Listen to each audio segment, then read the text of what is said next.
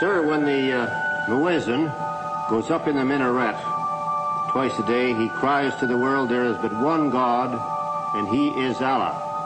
Do you deny that there is a Christian God? Uh, the muezzin does this five times a day. Five times, and I only heard him twice. Well, you were fortunate to hear him twice. but he does this five times a day, and the same God that he says uh, that he expresses the existence of is the God that the Christians profess to believe in themselves, and the God that the Jews believe in, one God, the creator of the universe.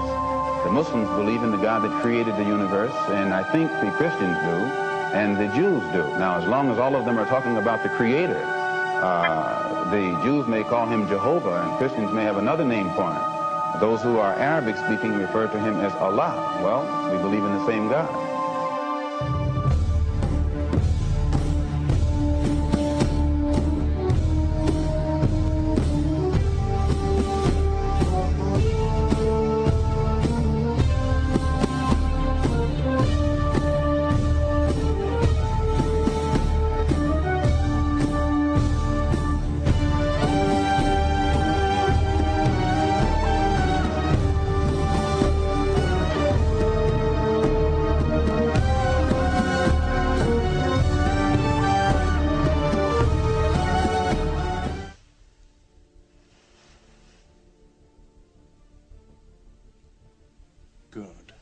Their stiff necks will hang them.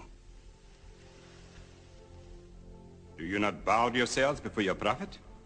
Muhammad is a man. We kneel only to God. Why did your prophet send you to me? Because you believe in the book of the one God as we do. He sent us because in your heart God will protect us. Go on. I speak of the messenger of God. Muhammad teaches us to worship one God, to speak truth, to love our neighbors as ourselves, to give charity. Even a smile can be charity. To protect women from misuse, to shelter orphans, and to turn away from gods of wood and stone. I cannot keep still and hear this blasphemy. We are an ancient civilization. Call our gods wood and stone is to speak ignorantly of them.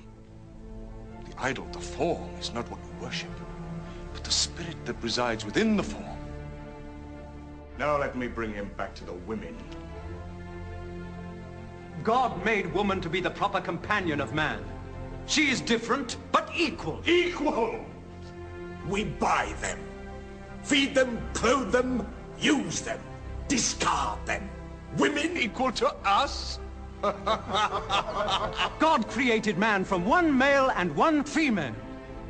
Now, you must respect in all women the womb that bore you. Why are your 300 gods so tongue-tied? While his only god is eloquent. God has spoken to us before.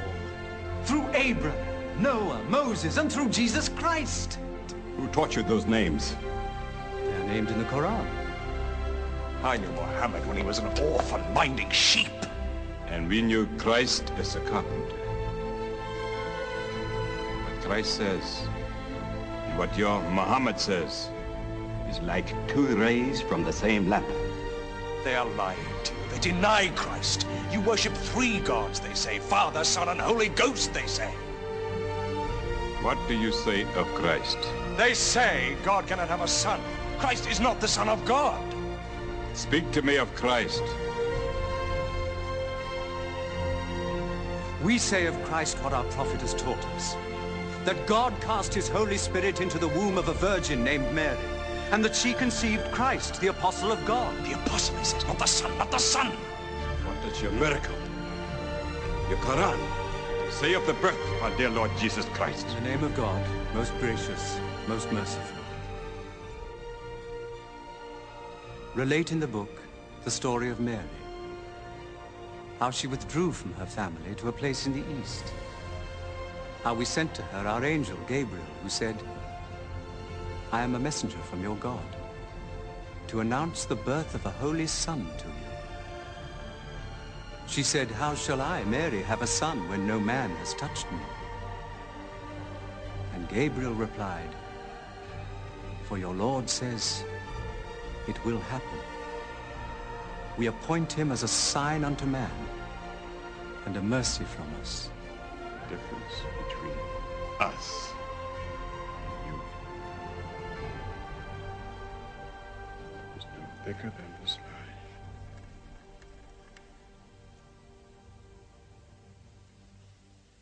Not for a mountain of gold will I give them up to you.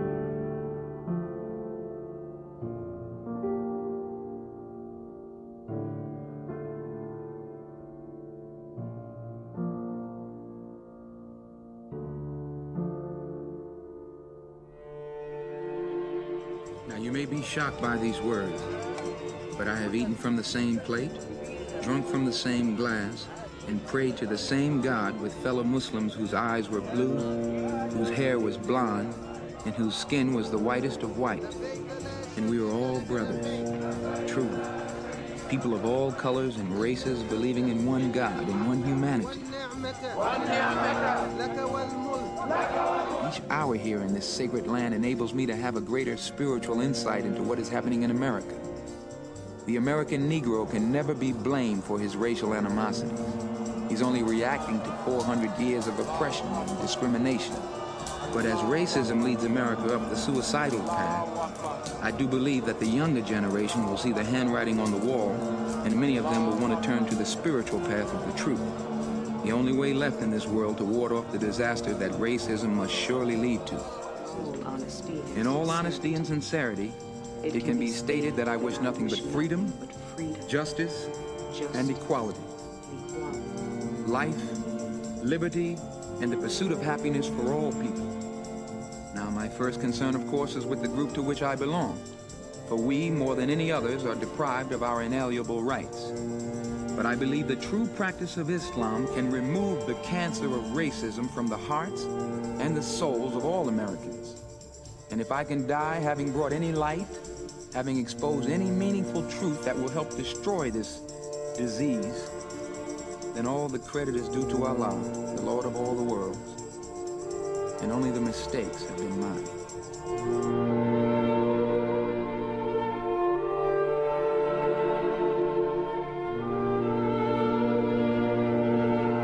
Alaikum.